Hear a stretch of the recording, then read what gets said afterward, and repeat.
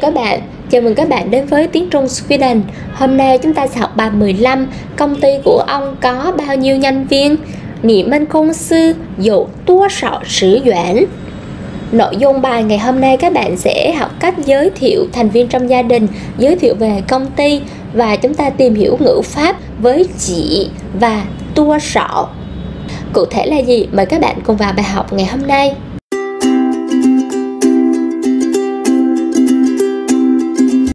Đầu tiên chúng ta cùng đến với phần từ vựng. Nhà bạn có mấy người? Nị cha dấu chí khổ rỉnh.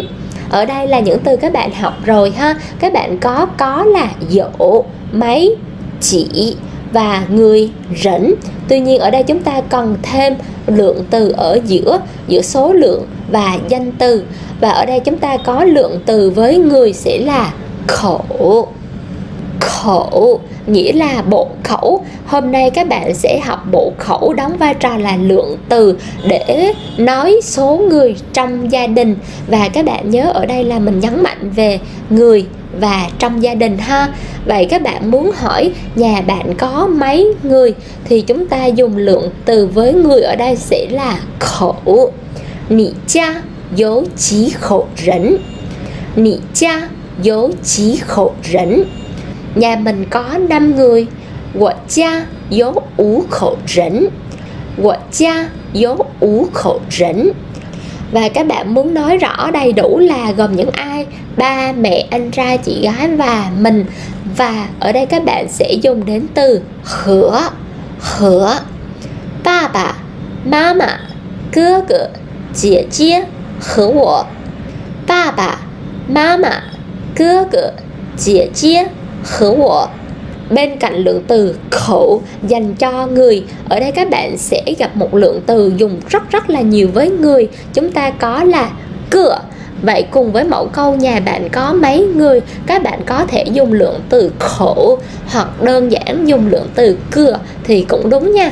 Nì cha dấu chỉ cơ rỉnh. Nì cha dấu chỉ cơ rỉnh.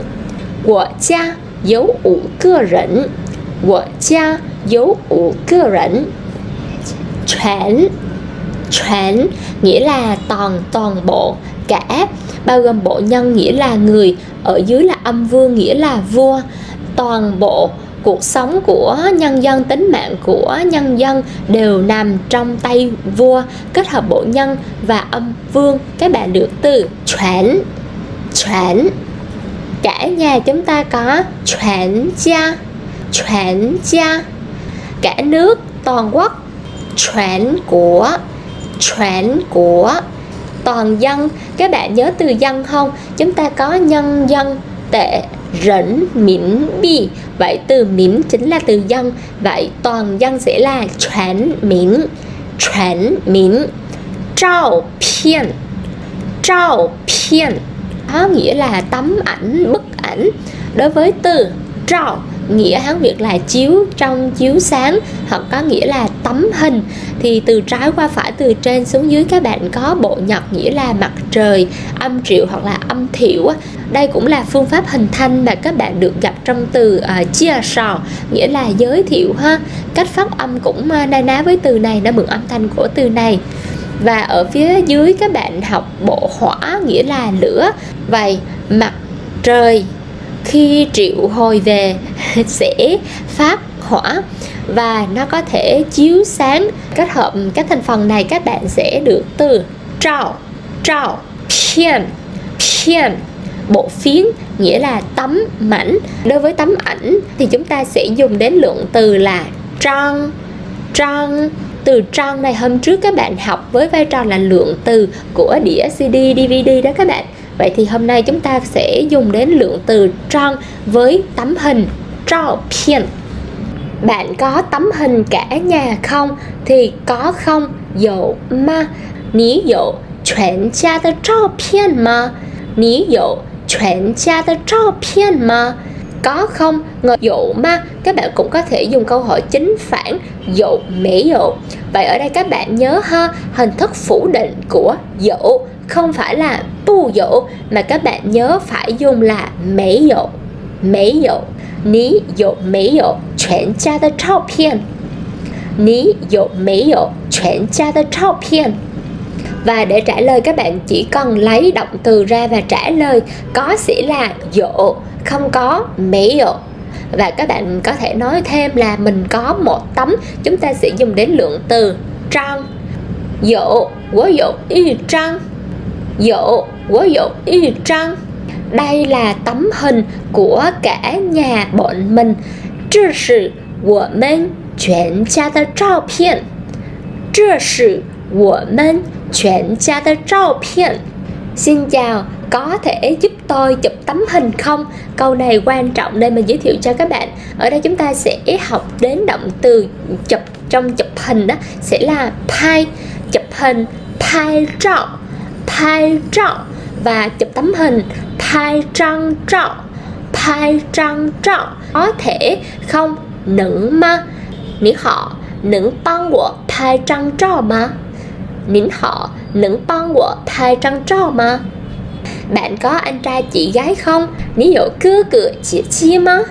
你有哥哥姐姐吗 mình không có anh trai, cũng không có chị gái, không có ở đây các bạn nhớ dùng mấy dụ của mấy dụ cưa cửa dễ mấy dụ chị chia của mấy dụ cưa cửa dễ mấy dụ chị chia mình chỉ có hai đứa em trai, từ chỉ này giúp cho mình nhấn mạnh số lượng ở đây là ít ha, thì chúng ta sẽ dùng đến từ quá chứ dụ lẻng cưa ti tị quá chứ dụ lẻng cưa ti tị Vậy thì ở đây đối với người này các bạn dùng đến lượng từ cửa Vì ở đây chúng ta có lượng từ nên số 2 ở đây các bạn nhớ dùng từ lẻng lẻng 我只有两个弟弟做 Zhuo nghĩa là làm làm việc bao gồm bộ nhân nghĩa là người âm cổ nghĩa là cổ xưa và bộ phộc nghĩa là đánh khẽ.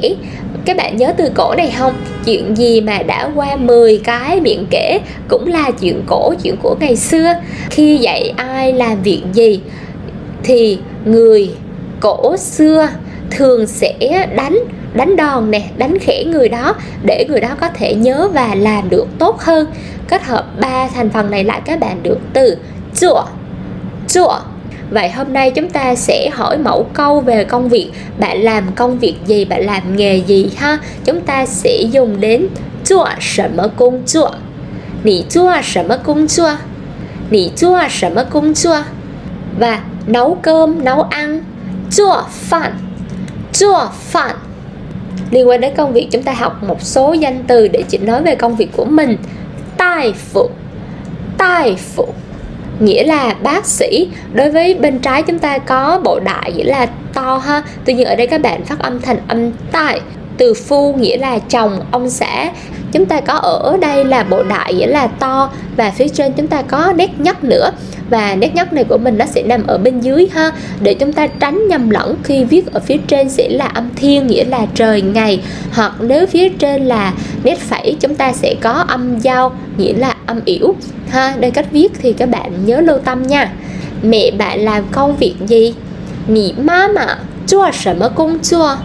Nị má mạ chua sở mơ công chua và để trả lời các bạn hãy giới thiệu mẹ mình là bác sĩ của mama stifle của mama stifle y sinh y sinh ngoài từ uh, tai phụ các bạn cũng sẽ nghe thấy từ y sinh y y trong y học bác sĩ bao gồm bộ hệ nghĩa là che đậy dấu giếm và bộ thủy nghĩa là cây tên mũi tên.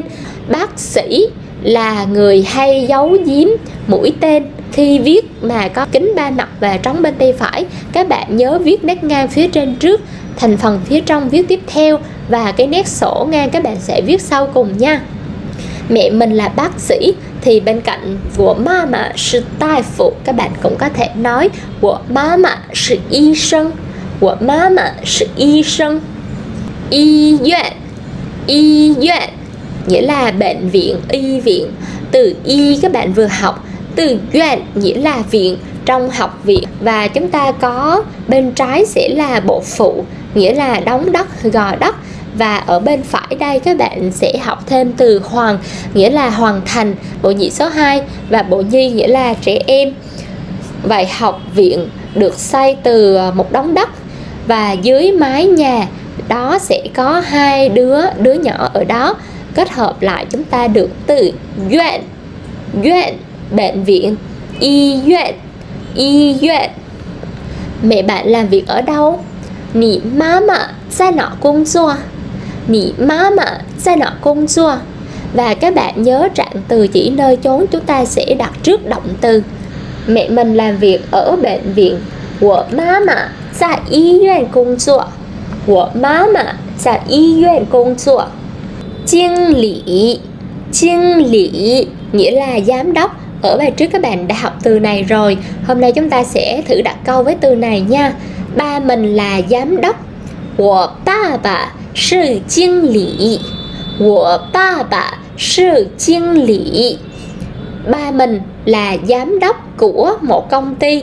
Trong câu này các bạn sẽ chú ý dùng lượng từ đối với công ty sẽ là cha của ba bà sư y cha công sư tư chinh lý của ba bà 是一家公司的经理 mình muốn mở một công ty 我想开一家公司我想开一家公司商店商店 nghĩa là cửa hàng chúng ta có từ sang nghĩa là thương trong thương nghiệp thương nhân chúng ta có phía trên là bộ lập nghĩa là đứng thành lập đây này các bạn đây là một phần của bộ lập và chúng ta sẽ mất luôn cái nét ở phía dưới này ha.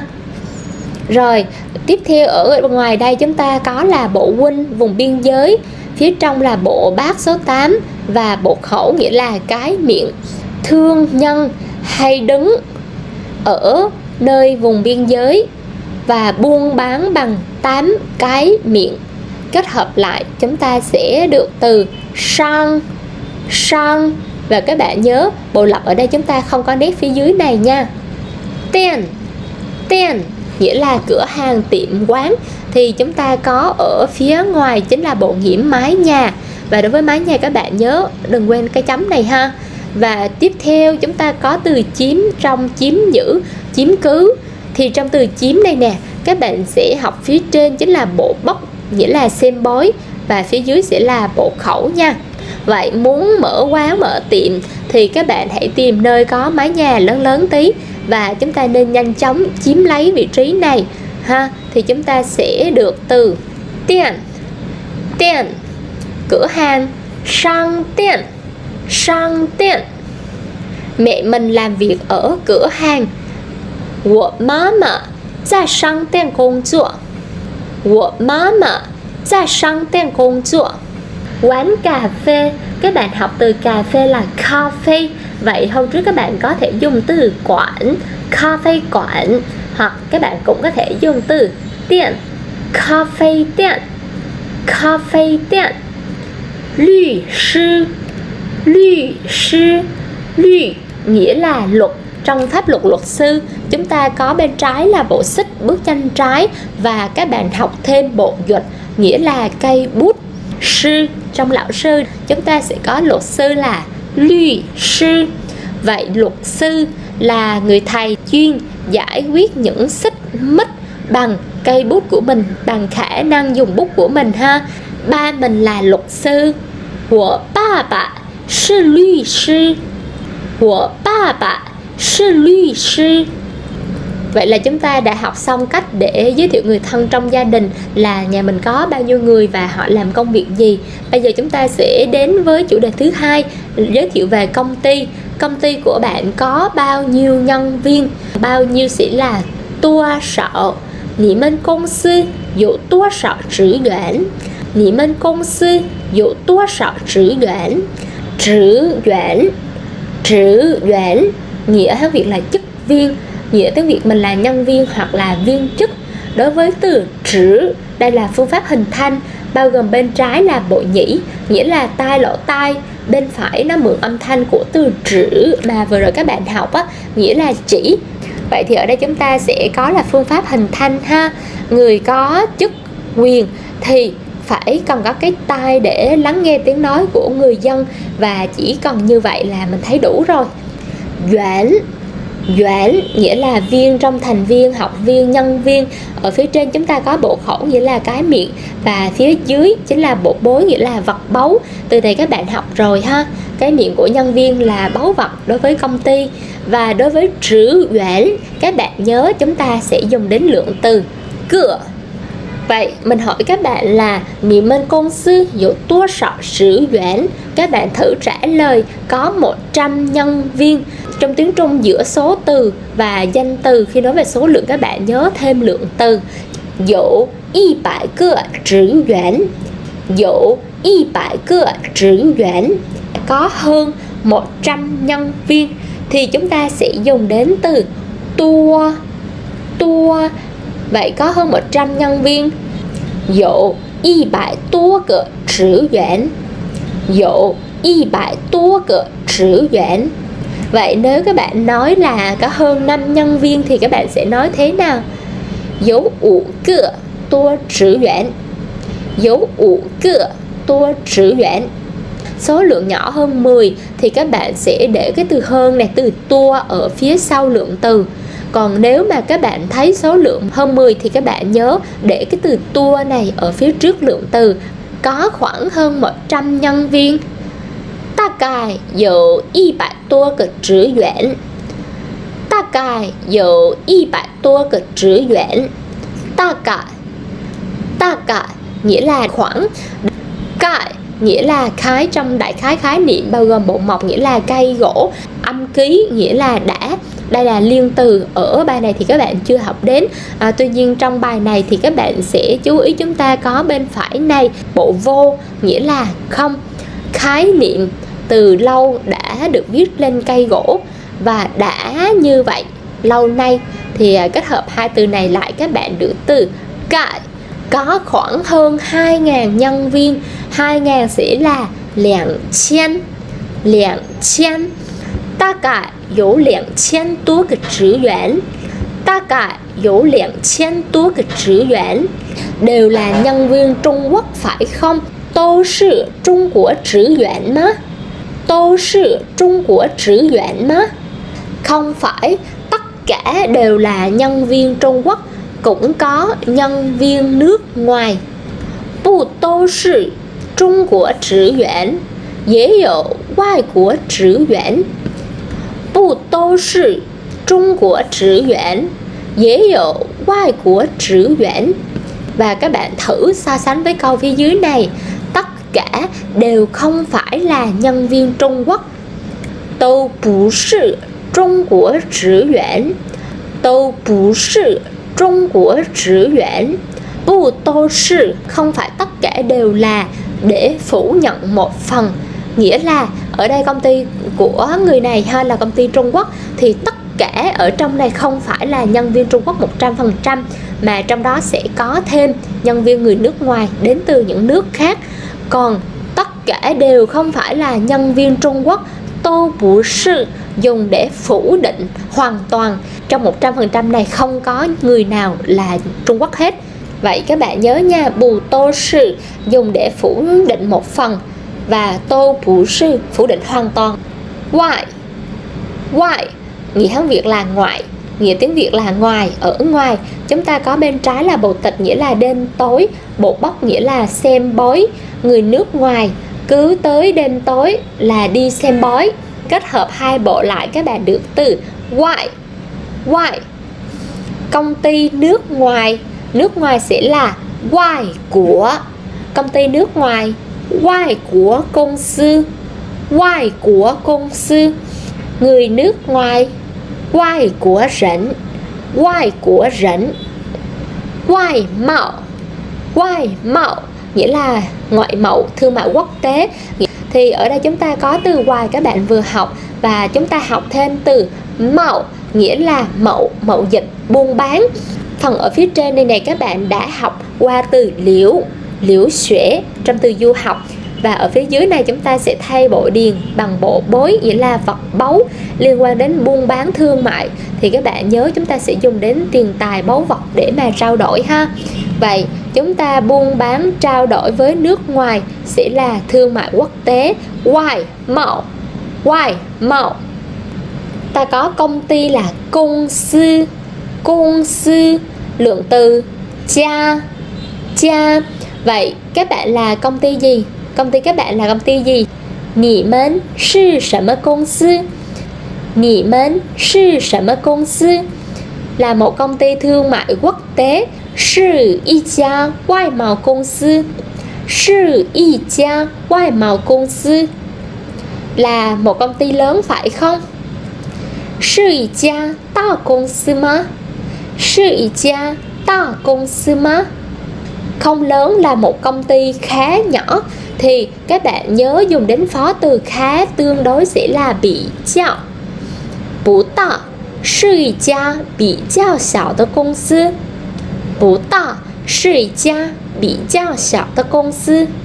Vậy là chúng ta đã học xong phần từ vựng của bài ngày hôm nay. Vậy thì bây giờ mời các bạn cùng đến với phần hội thoại.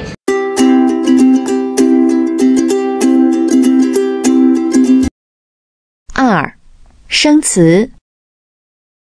全，照片，看，姐姐，纸，做，大夫，医院，公司，商店，律师，外贸。小，大概，多，外国。第十五课，你们公司有多少职员？一课文。一，你家有几口人？你家有几口人？我家有五口人，爸爸妈妈、哥哥、姐姐和我。你有没有全家的照片？有一张，你看，这是我们全家的照片。你有哥哥姐姐吗？我没有哥哥，也没有姐姐。只有两个弟弟。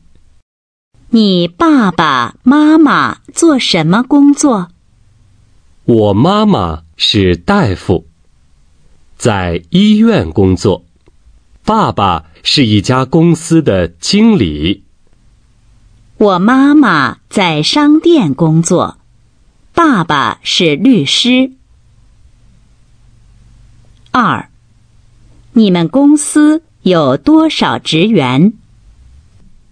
你们是一家什么公司？是一家外贸公司。是一家大公司吗？不大，是一家比较小的公司。有多少职员？大概有一百多个职员。都是中国职员吗？不都是中国职员，也有外国职员。Mời các bạn cùng đọc hội thoại với mình. 第十五课，你们公司有多少职员？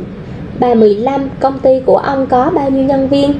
Đoạn hội thoại đầu tiên, Nị cha dấu chí khổ rỉnh Nhà của bạn có mấy người? Nị cha dấu chí khổ rỉnh Nhà bạn có mấy người? 我家有五口人，爸爸妈妈、哥哥、姐姐和我。Nhà mình có 5 người, ba, mẹ, anh trai, chị gái và mình. Ní dụ mấy dụ chuyển gia的照片 Bạn có tấm hình cả nhà không? Dụ y trang, nì khan.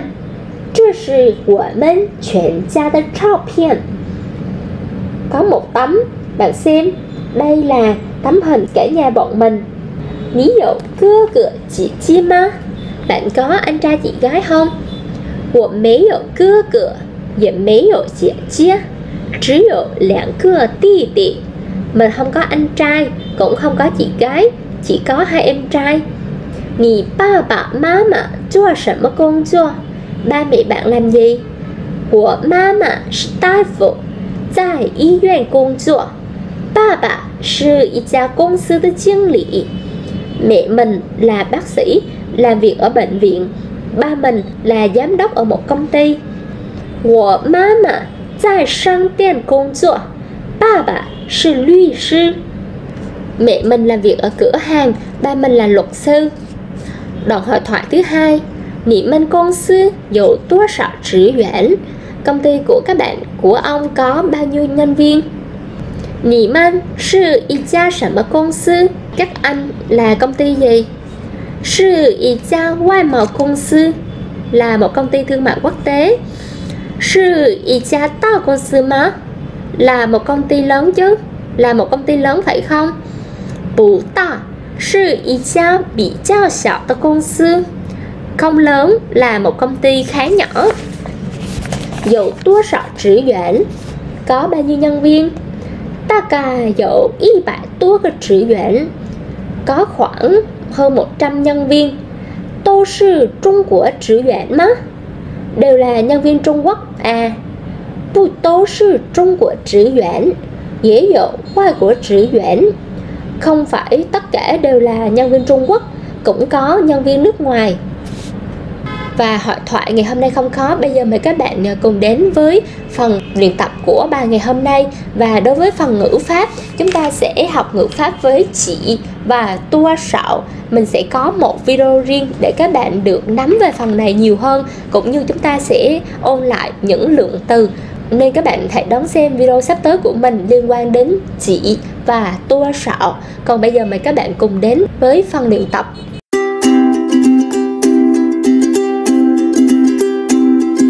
Đầu tiên chúng ta cùng đến với phần luyện nói Mình sẽ có một câu nói nhanh, một câu nói chậm Sau khi các bạn nghe xong, trả lời xong thì chúng ta hãy đến với câu tiếp theo Rồi mời các bạn cùng nhìn hình phía bên tay trái Và mình sẽ hỏi liên quan đến tấm hình này nha 你有没有全家的照片？你有没有全家的照片？这张照片是不是你的？ 这张照片是不是你的？你家有几口人？你家有几口人？你有没有姐姐？你有没有姐姐？你爸爸做什么工作？你爸爸做什么工作？你妈妈呢？你妈妈做什么工作？你妈妈呢？你妈妈做什么工作？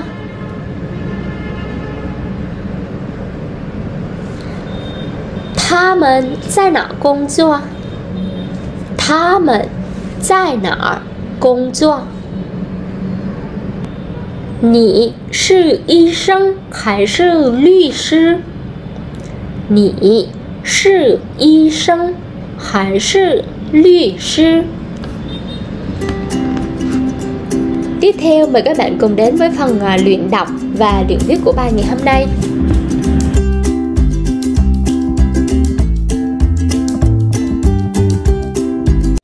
Và bài học đến đây là hết rồi. Mình hy vọng video này hữu ích với các bạn. Nếu các bạn yêu thích hãy nhấn nút like, subscribe đăng ký bên dưới Để đón xem những video mới nhất của mình.